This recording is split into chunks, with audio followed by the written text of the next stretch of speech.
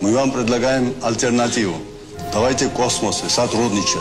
Сотрудничать в мирном освоении космоса.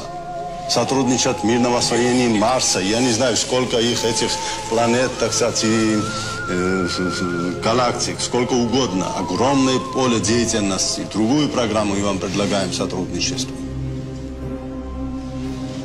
На вашей стороне нет логики, понимаете? Вот хорошо, что вы задали этот вопрос. Я не могу спокойно отвечать, так сказать, на этот вопрос, потому что это вопрос жизни человечества на Земле. Это не такая безобидная программа, как иногда рисуют, так сказать. Первым долгом это военная программа. Военная программа, программа милитаризации космоса. Я вам еще напомню философию, которая была, так сказать, провозглашена э, президентом Джонсоном.